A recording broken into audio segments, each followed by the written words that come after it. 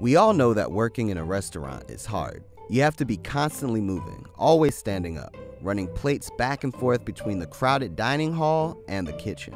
But we wanted to know exactly how much more physical activity you get working in a kitchen versus working in an office.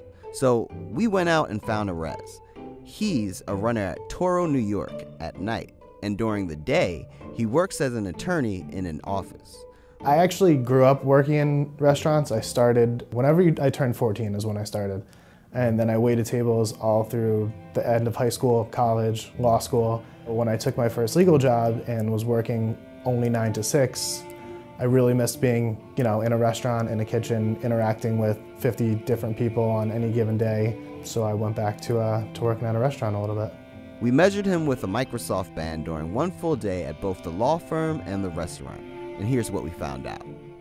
Arez goes to work at 9 in the morning and works at the law firm until 6 p.m.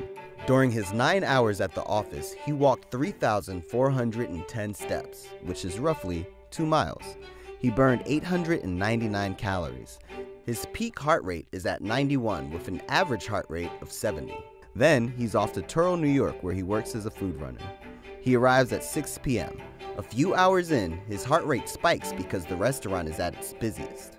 His walk from the kitchen to the dining room is almost an entire city block. He walked 18,239 steps, which equals out to about 9 miles. Arez burned more than 800 calories during one shift, with the most being burned between 7 p.m. and 10 p.m. when the restaurant is busy.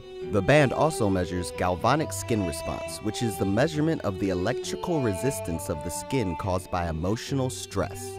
The lower the number of the GSR, the more stressed the person is.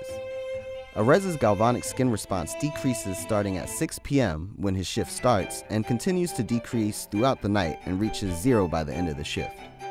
In comparison to working in an office, he walked five times more steps, which is seven more miles, 20 times more stairs, significantly higher heart rate throughout for both peak and average heart rate. And he burned 1.5 times more calories per hour. Well, the lesson of the day is if you want to stay in shape, don't be a lawyer. Thank you guys. Hopefully, I won't end up an internet meme and unemployable as a lawyer in, in New York. Today in the US, there are about 500 culinary schools, heavily located around California and Florida. This is a chart that shows you how much a culinary education costs. Yeah, culinary schools are very expensive. Even with student loans, grants, and scholarships, it's about double the amount of a public university.